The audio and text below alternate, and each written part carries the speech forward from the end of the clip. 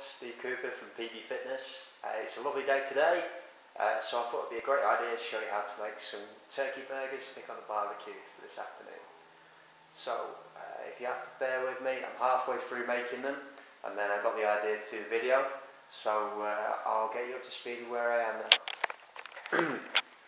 okay, I went down to the butchers. If you go to any decent butchers, uh, like Showerings in Rainhill, you'll be able to pick up some turkey mince.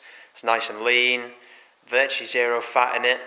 Um, I also got some locally sourced medium eggs, uh, really good quality ones, and also some very lazy chilies. Now these are great. All these are is ground red chilies in uh, just preserved in vinegar.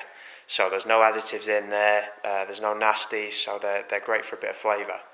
All you do is dump the turkey mince in, you take the white from one egg, dump that in, and then stick a load of chilies into taste. I quite like spicy things, so uh, I just dump the whole thing in.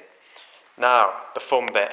All you have to do is, in your mixing bowl, squelch it around, just until everything's nice and mixed.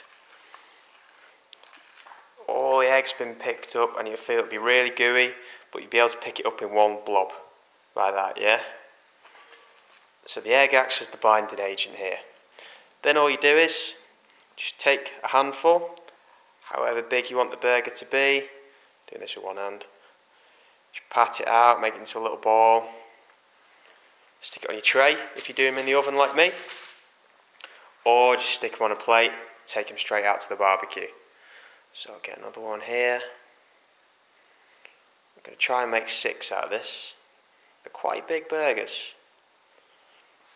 Now if you don't stick the egg in, they'll just fall apart. Now I learnt that the hard way.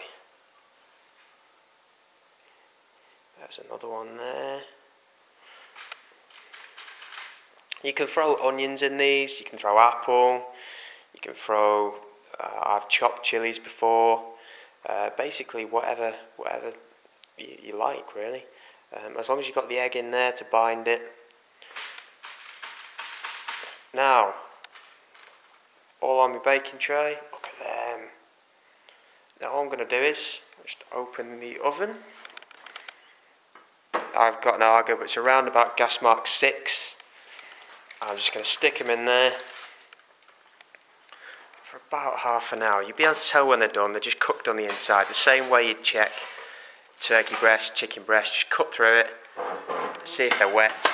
If they are, give them a bit more time. So I hope these work out really well for you. Uh, let me know, send me some pictures, and uh, enjoy. Have a great day.